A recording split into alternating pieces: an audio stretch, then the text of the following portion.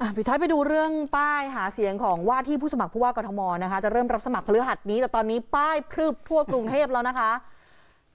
ประเด็นก็คือมันยังเหมือนเดิมนะท่านผู้ชมจำได้ไหมคะ การเลือกตั้ง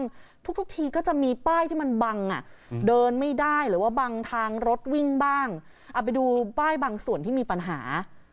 อะอย่างเงี้ยบังเนี่ยแทบจะเลือกไม่เหลือทางเดินนะคะ นี่นี่นี่อันนี้อันนี้ปัญหาคือเยอะจัด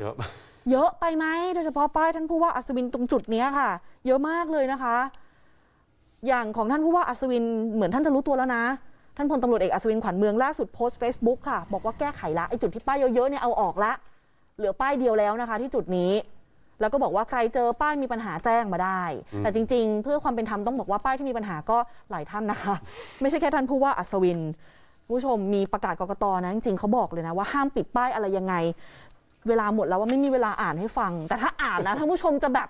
จะค้านตูนทุกประโยคเลยเชื่อไหมคะเนี่ยตามหน้าจออืมห้ามกีดขวางทางจราจรเออห้ามติดสะพานลอย มีไหมคะสะพานลอย เกาะกลางถนนรั้วริมถนน มีทุกจุดเอ